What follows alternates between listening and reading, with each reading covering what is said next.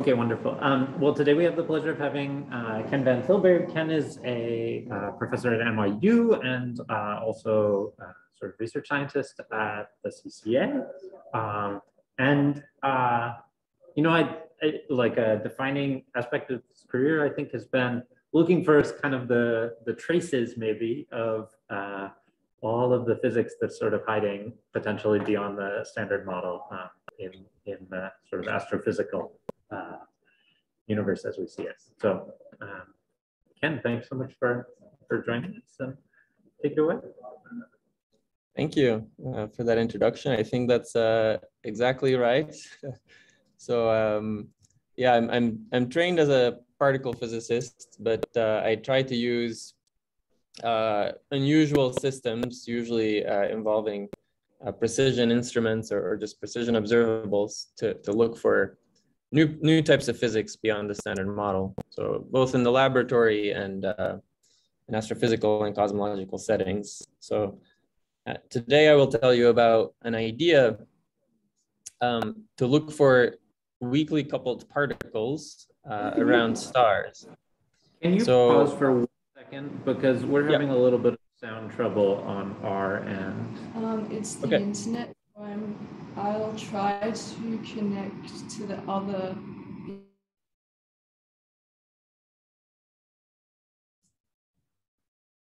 I see.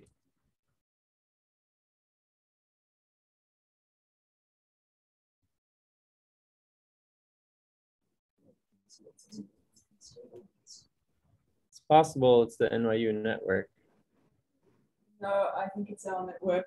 Yeah, like I've had this issue in some other calls as well, unfortunately. Okay, uh, I that should be. So if you'd like to go ahead now, I'm sorry about that. I see. Yeah, I think it. Um, the the Zoom folks are saying it's fine. It seems like it's there.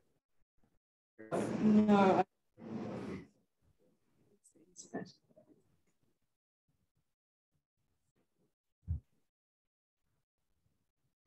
Happy to wait for a little bit.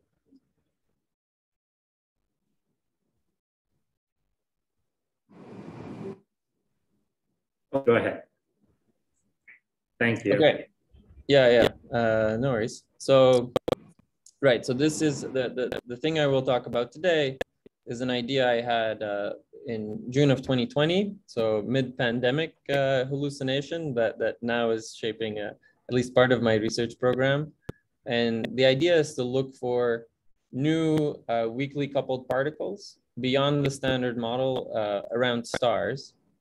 So just as a, you know, one, one slide summary here on the right, I'm showing a, a little animation of a, of a simulation and the simulations that are still ongoing of uh, the solar system. So you see the star in the middle is the sun. Um, and then Venus, Earth, Mars, and on the outskirts here is, is Jupiter. So it's a top-down view of the of the solar system in units of AU. Uh, and the, the colored orbits are particles that were initially emitted by the sun uh, onto bound orbits. And um, the, the key idea is that these orbits can accumulate over time. So as, as the sun is emitting these particles, some of them, or most of them, in fact, will fly out to infinity typically they're emitted uh, on relativistic orbits that are unbound. Um, but some are emitted uh, in on, onto bound orbits and they will accumulate over time, potentially over the age of, of the sun or the star in question. And that can lead to um, new prospects for, for detection. So as you can see, some, some of these orbits are crossing Earth. So we can try to look, look for these particles with experiments on Earth. Um, we can look for other signatures like their decays. Um, yeah, and uh, an anomalous cooling signatures as well. So, so that's that's the the basic idea. And it's uh, so the first two papers um, uh, I listed here. Um, the second one with uh, Robert Lasenby, who's a postdoc at, at Stanford. Um, Can I and, stop uh, you again? yeah. One minute switch of the speaker to a different computer. Okay. Because it's fine on some people's computers, but it's patchy on the one we're on. So you're gonna to come here. Okay.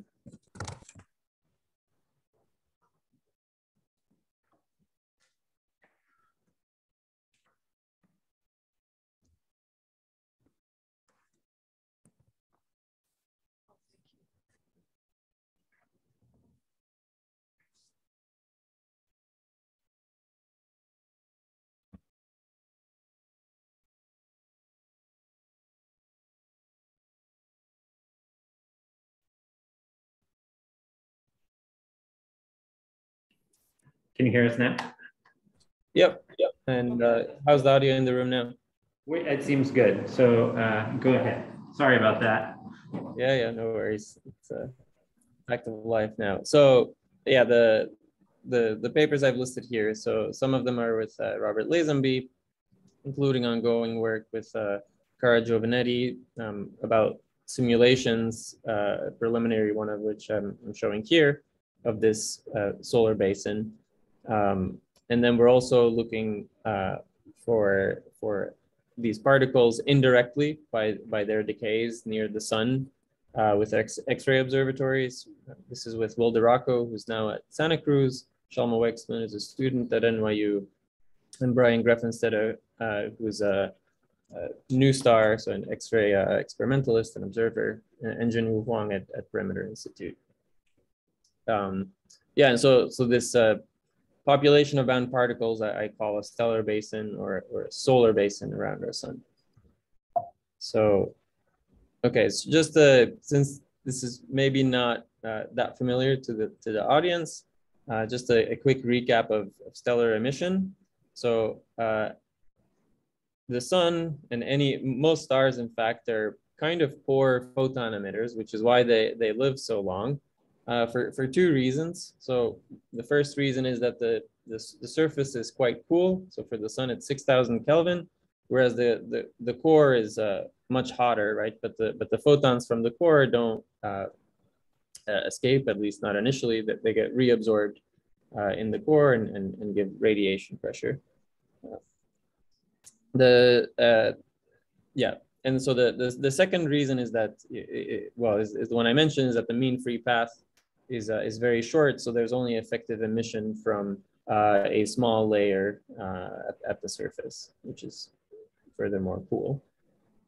And that actually leads to some uh, interesting facts. So for example, that neutrino cooling uh, may, may not be negligible for some stars. It is negligible for, for the sun, uh, but it is not so for other stars like, for example, neutron stars, so a, hot neutron star or a young neutron star in the first 100,000 years of its life cools primarily through neutrino emission, not through surface emission from, from photons. And this is despite the fact that the effective coupling of neutrinos is, is something like 20, 20 or more orders of magnitude uh, smaller than that of a photon. Okay, um, and so this uh, also applies to hypothetical new particles. Here I'm calling it an axion, um, but uh, it could be really any type of weakly coupled particle that can escape, just like a neutrino. So this was realized in the late 70s that, that uh, just by not observing anomalous cooling of stars and that our stellar codes work pretty well, that uh, you can constrain the couplings of, of new particles like axions. And so most of it has focused on, on relativistic emission of these particles. Um, and uh, so some experiments have been devised to, to also look for them on Earth, right? So if, if, if, these particles are emitted by the sun, we can try to look for them uh, in with detectors on Earth for these unbound particles. Um, the same detectors typically can also look for these particles uh, if they're dark matter. As I said, they're uh, I'm assuming that these particles are going to be weakly coupled, so they could potentially play the role of dark matter as well. Um, and so, yeah, often the same detectors can look for both the solar emitted particles as well as the uh, dark dark matter population if if they if it exists. Um, what I pointed out was that there is something uh, peculiar uh, about most of these particles uh, emission, So we, we don't normally don't think about it, but but photons are massless, right? So they they necessarily escape to infinity. They don't have bound orbits. But these new particles ha have a mass, so so a small fraction of them can be emitted onto bound orbits um, and accumulate over time. And it's a small fraction, but the long accumulation time means that there's significant consequences for for late time. So it looks like it's a non-relativistic particle around the sun. Um, so it kind of looks like dark matter, except it's not cosmologically produced, it's, it's uh, solar produced.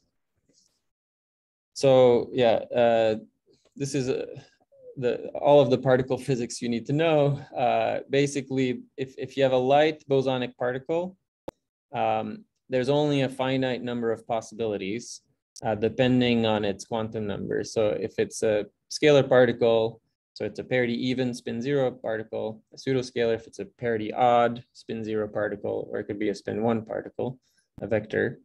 Uh, there's really only 10 couplings. So if it's if, if it's a scalar, it can couple to electrons, quarks, photons, and gluons. And so these are the four leading interactions you can you can possibly have. Classify all of them. Same with the pseudoscalar. Uh, again, electrons, quarks, photons, and gluons. And a vector only has two possibilities one thing that we call a kinetically mixed photon. So it sort of uh, has some uh, mixed propagation with a regular photon with parameterized by some small coupling epsilon, or it can couple to, um, it can couple like a regular photon where except the charges are not electric charge, but baryon number minus lepton number. So, so for the beginning of the talk, I'm gonna focus on just this pseudoscalar coupling to electrons. So what can happen is just Bremsstrahlung off, off an electron. So uh, let's say time goes from left to right. So an electron scatters off an ion in the sun. Uh, and in that uh, electron ion scattering process, uh, there's some Bremsstrahlung radiation, except it's not a it's not a photon this time, but it, it's an axion. And likewise, comp, an analog of the Compton scattering process, where you produce this axion particle through this coupling. Uh, if, if, for example, you have a photon coupling, uh, you know, you can have uh, photons scattering off of ions and producing this axion, and that can also lead to uh, decays of these axions. If you just have the electron coupling, decays are typically pretty slow because they have to go through a, a loop. It's not so important. And in sort of this, the second part of the talk, going to discuss this vector particle uh, analog. Okay. So, but this is this uh, first for the axion particle. So you don't really need to know all of the particle physics, but I'm, I'm just going to show you here the, the effective coupling uh, as a function of mass of this particle. So this parameter by this GAEE coupling. And uh, basically, if the coupling is, um, if the dimensionless coupling is, is larger than 3 times 10 to minus 13 or so, and if the particle is sufficiently light, so below the um, the temperature of the star, like a which is 10, 10 keV for a red giant and 1 keV for a typical white dwarf, then you would anomalously cool. So anywhere in this gray region, you would anomalously cool red giant stars um, and shorten their lifetime, increase the, the, the mass of the core at the, at the end of its life. Um, and uh, on the right, here I'm showing the spectrum of emitted uh, axion particles for the two different uh, couplings. So, so the orange curve would be what, what, what the spectrum looks like um, if this um, particle can be, can be emitted by the sun. With this coupling 10 to the minus 13, that's uh, still allowed. Uh, so it's below this this gray curve. And um, yeah, so so just as a point, it, it's emitted from the core of the sun, and that's why the typical energy is of order one keV, which corresponds to the thermal energy at the, at 50 million Kelvin, the core the solar um, core temperature. So this this spectrum would be the spectrum of a, a massless axion. And here I'm I'm showing a cartoon. So here I'm also uh, showing this differential energy loss rate per unit volume, per unit energy. So you can think of it as a spectrum um, now on a log scale. And so at, at low energies, so if, if, if you're looking at the massless case, at low energies, your phase space suppressed. So typically scales like some polynomial as a function of frequency. Um, and then once as a function of energy, and, and for energies far above the temperature, eventually you get the Boltzmann suppression because uh, there's not enough energy in the core to, to produce very high energy modes. Um, but now if, if these particles have a mass, let's say not too far removed from the temperature of the star, then the spectrum gets modified and uh, it, it, looks like the black curve over here. And then the, the new possibility that opens up is that in this blue sliver, you have just enough energy to produce the particle, but not enough to escape the potential of the solar system. So, um, and, and those would those particles would be emitted onto a bound orbit. And in fact, it's you can estimate uh, by dimensional analysis uh, the fraction of the blue sliver compared to everything else. And it's basically because you're sort of, you, you can emit into all parts of phase space and the, the total integral under the curve here typically gives you something like, that scales like temperature to the fourth power. Whereas if you're only integrating over the blue sliver, you get something like uh, the ball in phase space where you can emit, which goes like the escape velocities uh, cubed times the mass to the fourth. So the ratio is typically uh, of order, the, the fractional ratio. So sorry, that's, that's a redundant. The, the, the ratio of bound to unbound orbits, uh, if the mass is close to the temperature, goes like v escape cubed. So the escape velocity cubed uh, in units of the speed of light, where the speed of light is one. So for the sun, at, in the core of the sun, the escape velocity is a little bit higher than 10 to the minus three. So one part in a billion of these axions would be emitted into a bound orbit, which sounds small, but uh, let me give you a counter argument for, for why it's, not small. Okay, so um, I, I gave you the heuristic argument, but the the actual formula that I derived in, in, in, my paper from June 2020 is this one. So if you ask what is the energy density injection rate into bound orbits as observed from a radius r outside of the star, um, it's some volume integral of, of some function, this q tilde, which is not so important. The, the most important thing is that it falls off as 1 over r to the fourth.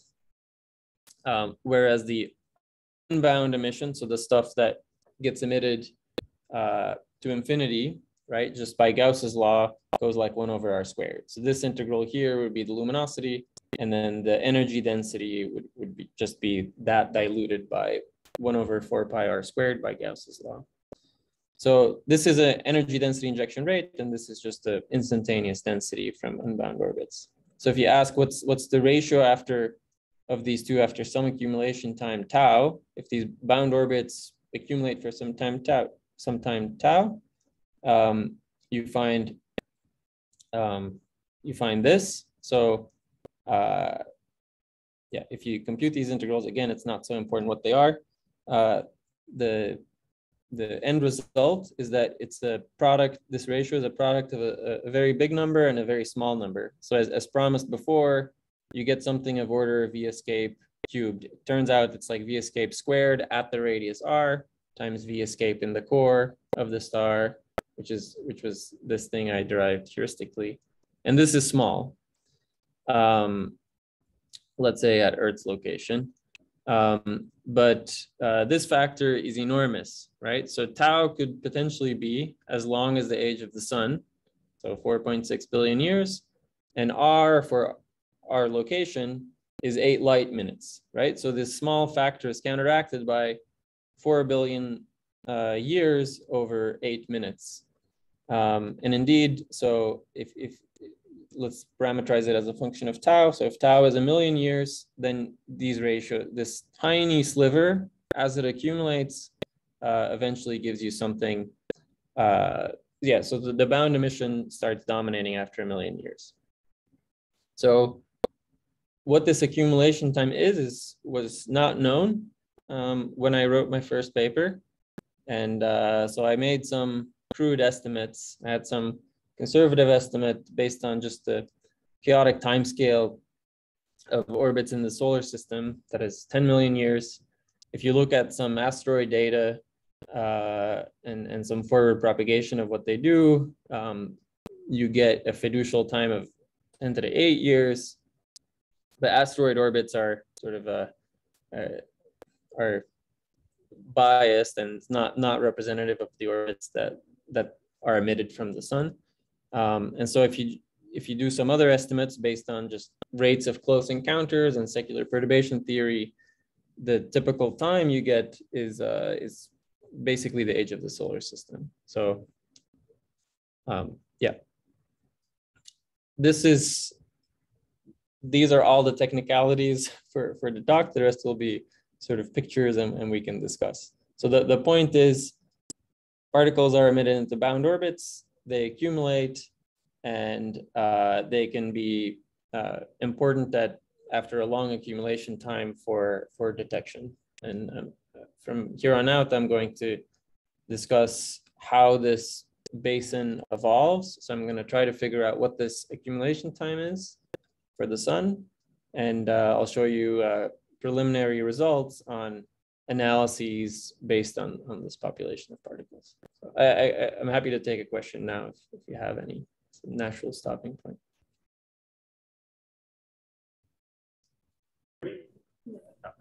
I, I have a question. Yeah.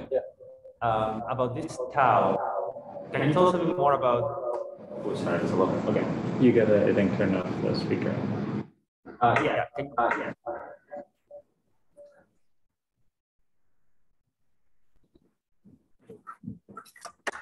Take it. Yeah, anytime. Okay. Uh, so can you tell me more about this tau? What is the constraint? Where did it come from? Like, like when, when do I care about the outcome? Um, I'm having a really hard time hearing you here. Okay. Um, I'm asking when do I care about the Lyapunov time? That is the relevant. Wh- wh- Why it is the Lyapunov time? You're asking why why that why I put it there? Yeah. yeah. Um, well, that that was sort of a conservative estimate. So uh, it it's a huge underestimate. So so in fact, uh, well, spoiler alert. I think the effective tau for orbits uh, crossing Earth's orbit is uh, is uh, 1.2 billion years. So it's somewhere in between this asteroid estimate and this optimistic estimate based on secular perturbation theory. Uh, I just basically in a Lyapunov time, the, the phase space gets scrambled, uh, at least partially. And uh, so, so that so that time scale was just a conservative lower bound on how short this accumulation time was. But but already then, you know, even with this super conservative estimate, it, it was already interesting. Like the bound, uh, the bound fraction would be uh, larger than the, the the bound density would be larger than the unbound density locally. Gotcha, gotcha. So, so you care about the Lyapunov because the orbits get scrambled, but they, they don't. They, the particles don't get ejected.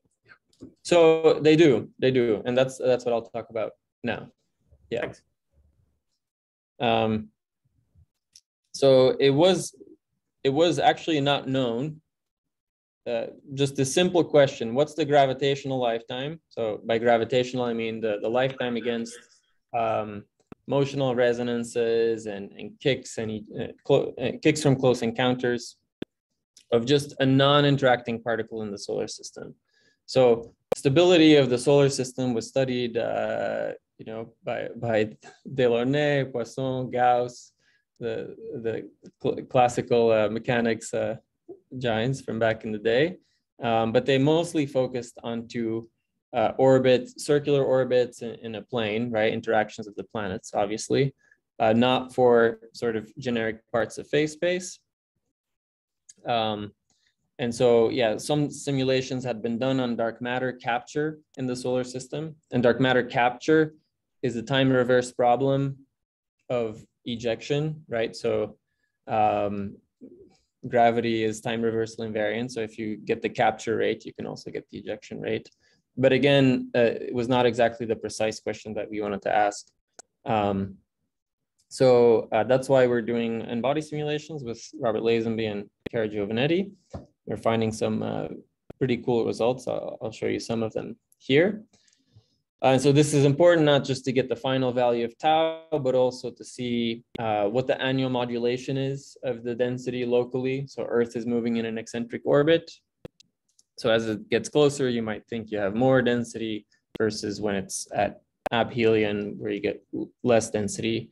There might even be some sort of astrology uh, correlation where the location of the planets may matter. Uh, in particular, Jupiter's location may matter um, uh, for for for the density because uh, as it can shape this sort of this this basin density. Its orbit is uh, asymmetric eccentric.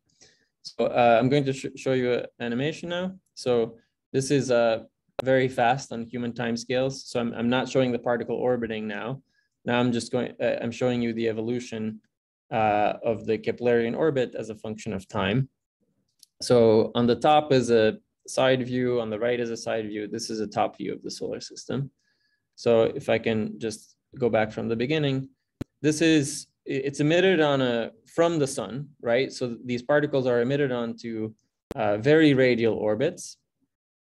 Um, and I'm just showing 10 here.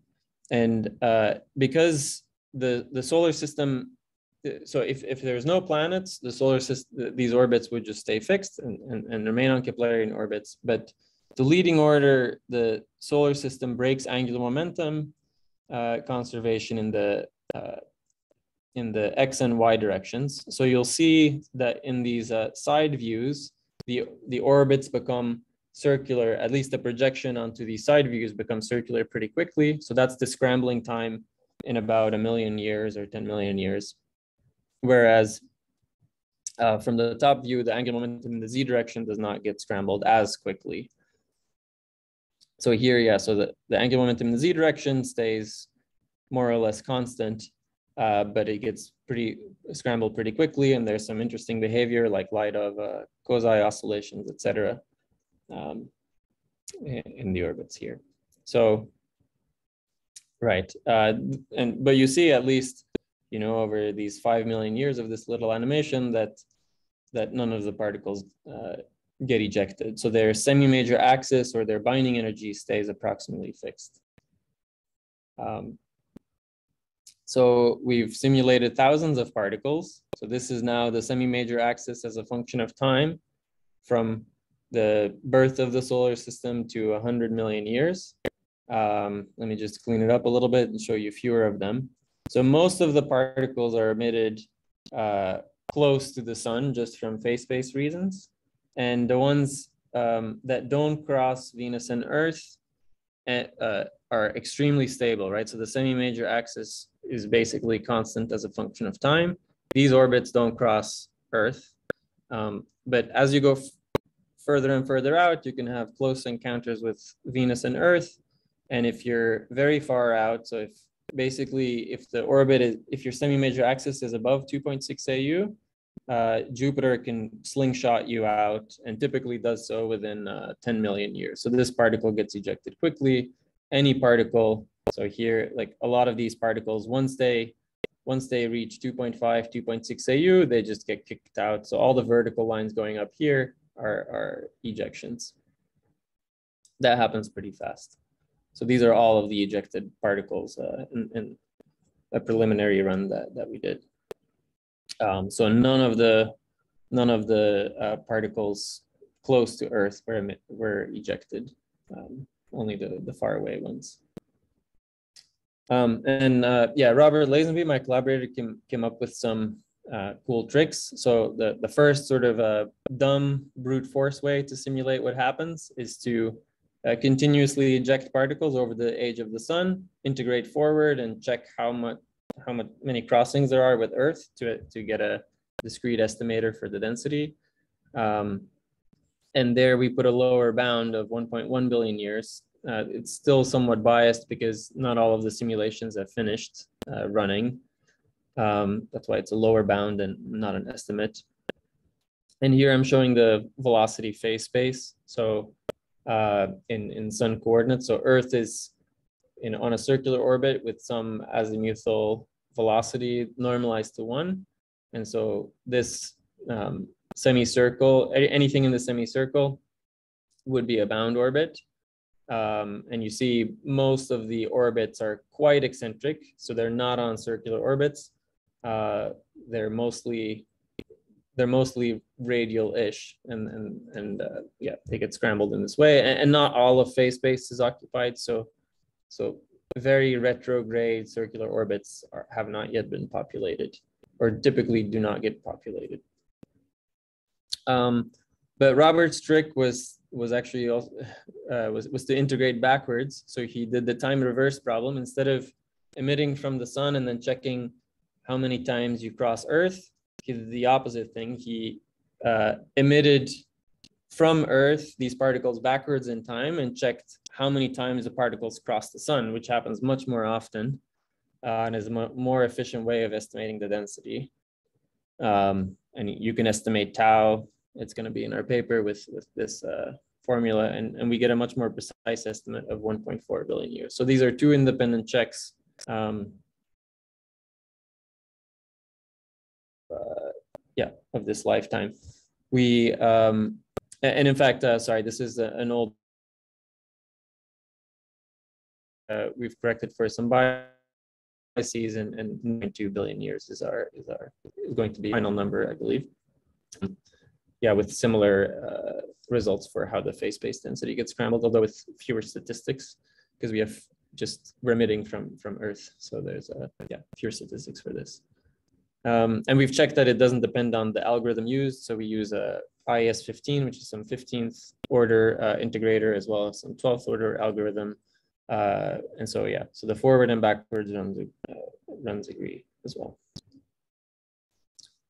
Um, this is just showing you the, the different simulations. So all of the forward simulations, which have some survival bias, um, we had 256 backward simulations that all finished. So we run, run them backwards in time uh, to 4.6 billion years in the past or until the particle is ejected uh, going back in time.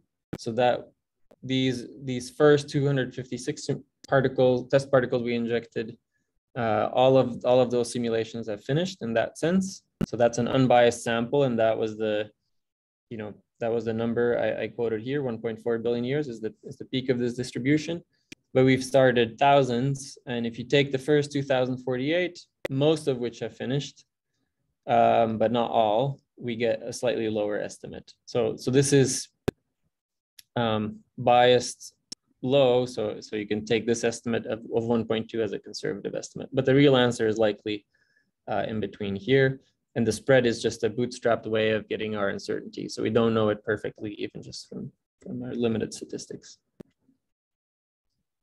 Um, yeah, so I'm going to skip this. So this is what you get in the end for the final density. So uh, we, we've computed this um, these plots exactly from our simulations, so, so no, uh, no heuristics. So what I'm showing you here is the final density at Earth's location as a function of particle, of, as a function of this axion mass for different couplings. And you get some interesting dynamics. So as you increase the coupling, you get more and more and more. Um, if the coupling is as large as 10 to the minus 11, you get as much density, oh, I forgot the units, I'm sorry. Uh, this, these are units of GeV per centimeter cubed. So the, the, for reference, the gray line is the local dark matter density. So you can exceed the local dark matter density if the coupling is very big. Um, there's some curious, curious physics. So as, as you increase the coupling, eventually you, you saturate to detailed balance. So it's basically where this basin of particles uh, has an equal emission rate uh, and absorption rate in the sun. So you achieve a detailed balance. So the, your occupation number, this is the phase-space occupation number, gets that of a Bose-Einstein occupation uh, number. So it equilibrates with the sun basically. Um, so yeah, so, so you have quite a high density around a star.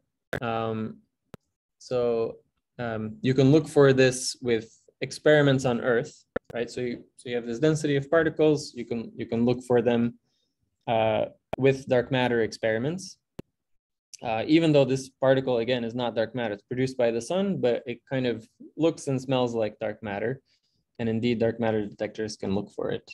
So I'm not going to go into all of the details on, on, on, dark matter detectors, but the basic idea is that a particle can be um, this axion particle, it couples to electrons, so it can ionize um, a xenon atom as it gets absorbed.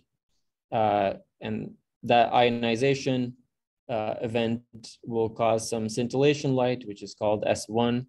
Um, but the ionized electrons can also drift upwards and produce some additional signal uh, called S2 from, from this drift. And you can use these two things to um, uh, discriminate against background and get an energy estimate for what the mass of the particle or the energy of the particle was. Um, yeah, and get some localization information as well. So this is a picture from the Xenon one-ton experiment, uh, which published their results in June 2020. So I, so I scrambled to finish up my to, to finish up the, this this idea, because indeed they what they found was a, an excess of events at low energies with a typical energy uh, of order the uh, core temperature in the sun. I, I don't I I think this excess is not quite real. It may be some radioactive. It, it, likely is some radioactive contamination, but but anyway, it's uh they they could have plausibly uh, seen something, as I'll show next. Um, so um, what they interpreted it as was a um, let's look in this plot a solar axion. So if you say that it's a relativistic solar axion, so massless axion, uh, you can get this, you can fit this excess with, uh, with such a population. The problem was that in their parameter space, so if you, you can couple to electrons here, you can couple to photons, and you can couple to nuclei. And anywhere in the blue band, you, you fit well uh, this excess of events. Um, except the problem was that the only allowed parameter space was this orange, uh, orange or orange sphere over there. Um, so it's just engrossed, like it could not possibly be real, at least not for this type of signal because uh, it was already excluded by other measurements. So, so other stellar cooling measurements. So this is the same plot, electron coupling and photon coupling. If you don't want to cool stars at all, you have to live in this uh, turquoise band and to fit their signal, you needed to live in the in the red band. So uh, in gross violation of, of these cooling bounds. It's a log plot. So um, yeah, these experiments can also look for for dark matter. So if you assume these particles make up the dark matter, you can you can look for them. Uh, yeah, and so so so that would actually be a plausible explanation. So this excess of events was sort of this the, the fact that the black line was above the, uh, the green and the yellow band. Uh, so they, their limit their limit on the on the coupling was worse than expected. Um, okay, so so to summarize uh, this this part, so there's this um, excess could be due to three populations. So yeah, again, this is the same coupling plot of the electron coupling versus axion mass. I'll just break it down slowly over time. Um, if it were a relativistic axion, so a massless relativistic axion, which was their signal interpretation, they needed a coupling somewhere in this red band, uh, which was in violation of these prior cooling constraints. Um, so that would correspond to, um, yeah, so sort of a this relativistic emission. Um, if it is, um, if the particle makes up the dark matter, uh, you know, we know its density, and in fact, uh, a dark matter, uh, dark matter particles, you know, with the right energy, with the right mass, could explain the excess. But my claim was that um, this bound fraction is uh, quite, this bound density is quite high, not quite as large as the dark matter density, but for a similar coupling, uh, you could you could uh, explain explain this excess. Um, and so, uh, yeah, and so and and you could explain the excess even if uh, even if the particle was was not dark matter and because the density of this um, the non-relativistic solar basin population is higher, it, it's sensitive to smaller couplings. Um, and so now with these simulations, uh, this is a, our new updated result. So where we've uh, assumed if this fiducial um, accumulation time uh, from from our simulation. So so if you if you just if you're conservative and you take all the previous dark matter limits on this coupling, you can recast it into this into this uh, a new limit independent of cosmology just from axions produced by by the sun and uh, and get a, a competitive limit. It doesn't quite exceed uh, the stellar cooling limits. However, this is insensitive to you know stellar evolution of, of uh, red giants and white dwarfs, which is somewhat complicated. And furthermore, these experiments are improving with time. In fact, now there's a xenon n-ton running where n is six, so they have a six times more sensitive experiment with three times lower background. So in one year time, this uh, this excess will be confirmed or, or falsified, and and also if they don't see anything, the, the limit will improve um, for this type of particle. Um, and so, so that's, that's going to be the claim. So this solar basin or stellar basins in general will form the basis, I think, for, for the leading probe of any weakly coupled particle with a mass of, of around a keV. So uh, in fact, what I've shown you here was the simplest example, but not the most spectacular example. Um, so I'm going to show you a completely analogous example for um, a, a, vector particle now. Should, uh, it's not going to be too long. So that was the second paper we put out. So the this particle, so this is just a Maxwell Lagrangian just for R photon. Just imagine there's now a, a new photon, F prime, so a second dark photon uh, that mixes with with our photon with some tiny by some tiny amount epsilon, and this new photon has a mass as well. Um, so the production is very analogous, except it can occur resonantly. So there's due to some plasma effects uh, at low masses, you can have resonant production, and that makes the production much more dramatic by the sun. Um, so uh, I'll, I'll skip this, but so in the end, th these are the analogous plots. So, so where the dark photon energy density in GeV per centimeter cube can exceed the dark matter density, even for couplings that are that that were still allowed, uh, and you can build up to this detailed balance thermal occupation number uh, in some cases. And in this case, uh, I'll show you this limit. Uh, in this case, now this solar basin, if you sort of re if you reinterpret existing dark matter experiments from the xenon collaboration um, in in our work now based on our simulations we we get this new blue limit so uh, over quite a few orders of magnitude and in various places we set the best limit on on this new particle this uh, simple uh, vector particle mixed with our photon so in a small region here, in a small region there, in a big triangle here, where we improve the bounds by, by an order of magnitude already with existing data, and a, and a corner over there as well. And again, both all of these bounds will improve. So there's a uh, an experiment running uh, or being developed now, being built now, SuperCDMS, that will be sensitive to very light dark matter and uh, it will carve out a huge part of parameter space, even if this axion is not dark matter. Uh, so yeah, that's that's the bottom line on on, uh, on direct detection. I want to leave some time for questions, so I'm going to skip. Um, I'm going to give you just a brief summary of of the next part. So this is direct detection on Earth. Um, what what can also happen is just uh, indirect detection.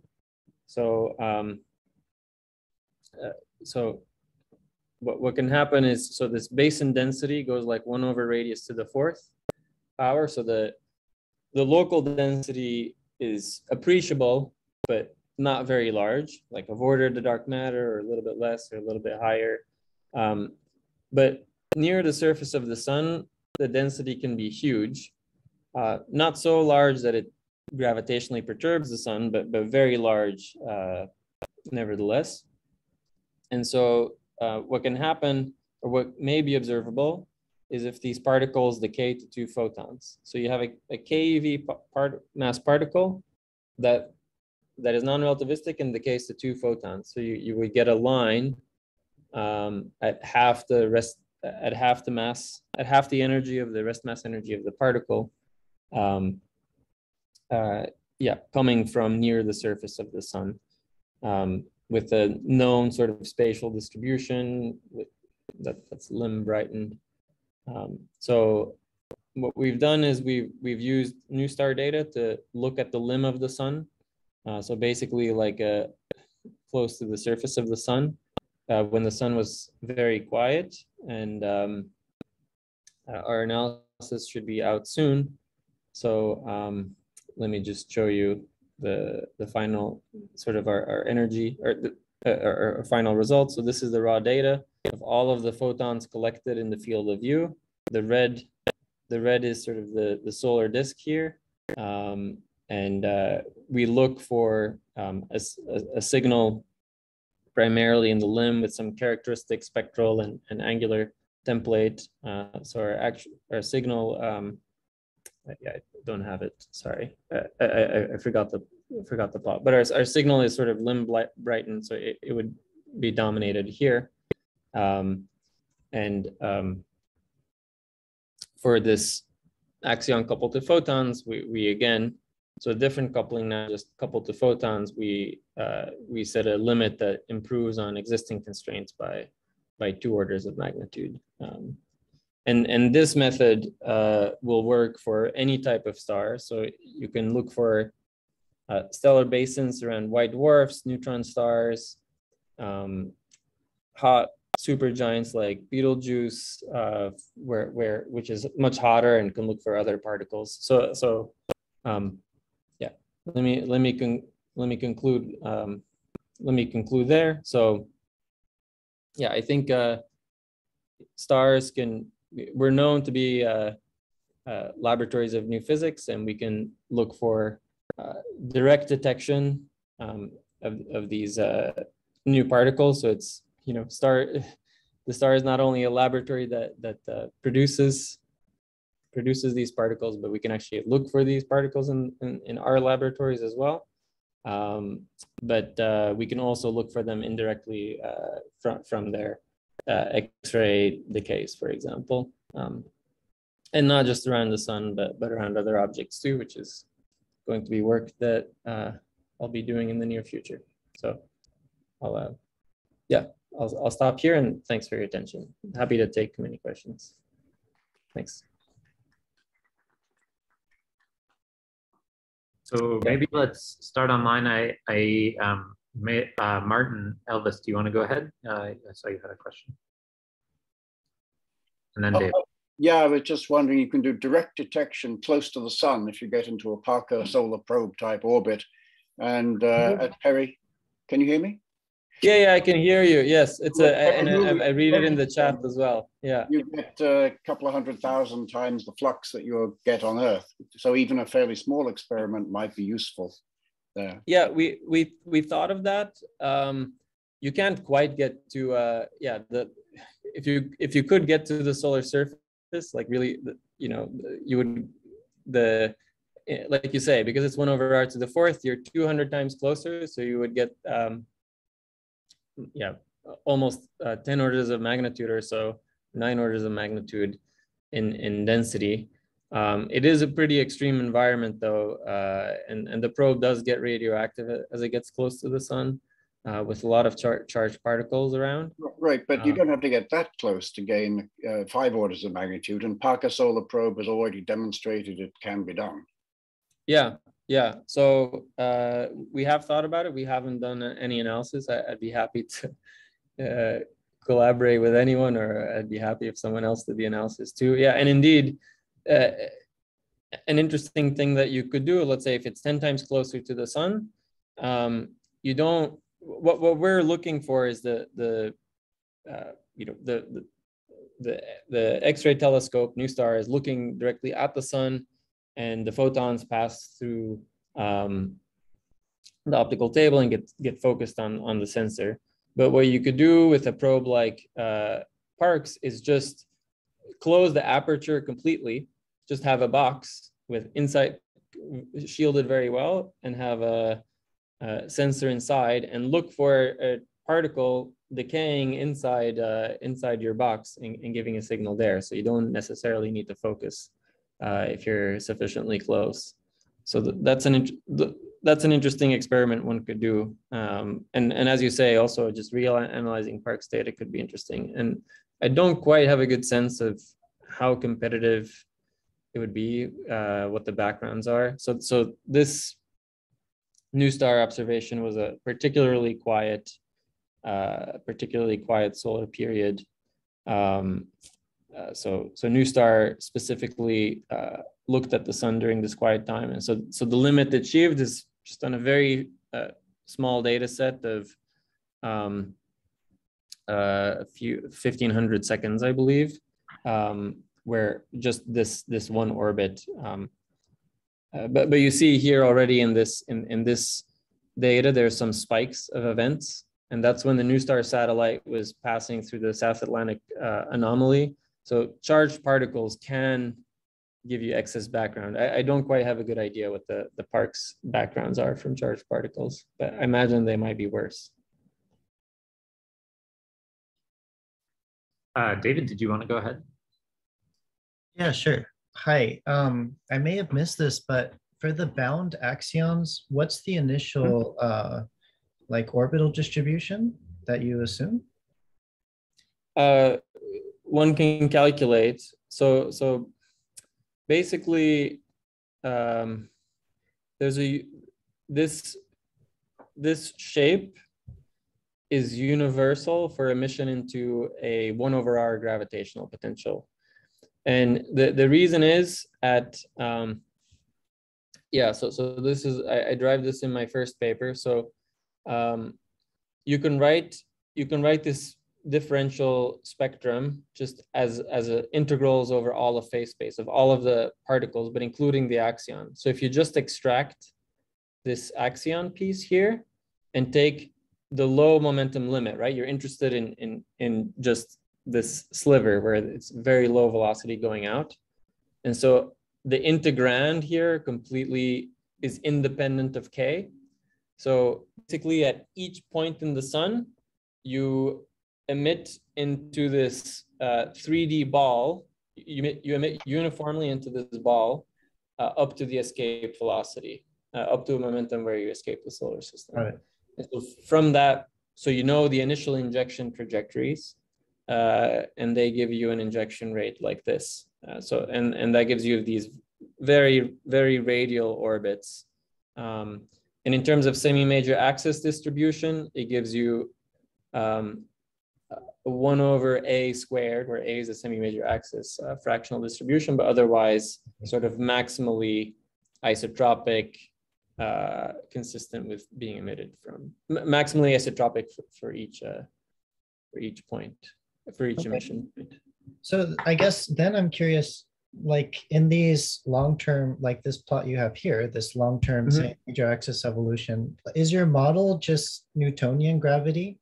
Uh, yeah, the model is Newtonian gravity, but not one over r. So one of the complications we um, had to deal with um, was the fact that the, you know, these are sun crossing orbits by by construction, right? You're emitted, you're emitted from the sun. So the orbits are not exactly Keplerian. Um, so this this piece here is in fact not exactly at t equals zero.